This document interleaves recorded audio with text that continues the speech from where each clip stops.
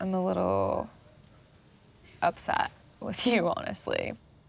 But I'm upset with you. Like I, you're like one. you said that the red flag here is Elizabeth.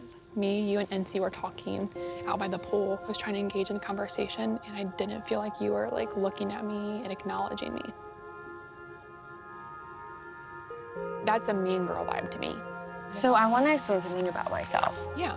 It's really hard for me to have multiple auditory inputs because I can't process the information. I have ADHD. I've had it really bad since I was a kid. Okay. Like I was probably just really trying to concentrate on what Ency was trying to say to me. Okay. And maybe you had said something in the middle of her saying something or me saying something, and I just I can't like hear it. Like I literally was trying to, I was talking to you in Ency, and you literally weren't even looking at me. I just explained that to you though. No, I'm saying I'm, I'm reiterating like what how I felt.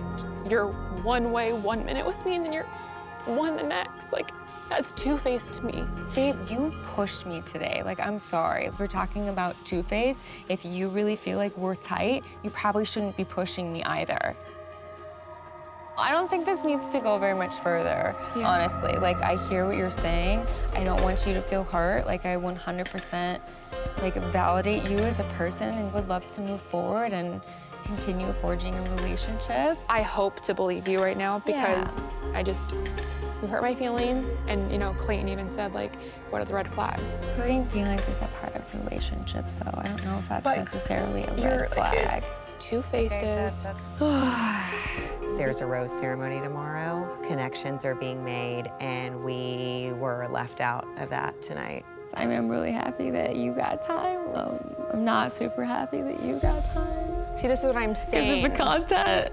Yeah, I get it, but remember we had our conversation in there. How I do remember. You, it's to And I've me, you and I are real and in there, but out here you're bringing it up again. Like that's why I'm confused. no, I'm, I'm bringing it up because I've had time to think about it since. Shanae's like so stupid.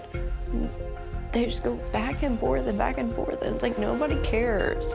I'm happy to have a calm conversation Okay. with you. Okay, Oh, I'll remember that because you you I'm lied to me to in a there. calm. I did not lie to you in there. You did. I said I'm like, sorry that your feelings were hurt. But and out here and open to everyone, you're literally dogging me. I told you out there that I was upset with you doing it. You're hugging me and said you love me. I did not say I loved you. I hugged you and I said I hoped it would be okay, that's where I'm confusing. You said you have ADHD, right? I do have ADHD.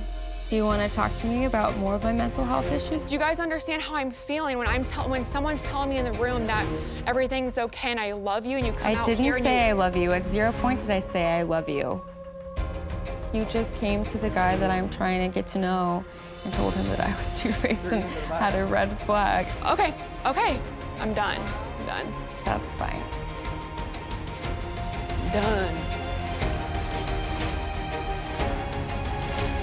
Fake, fake, fake. ADHD my ass, 100%.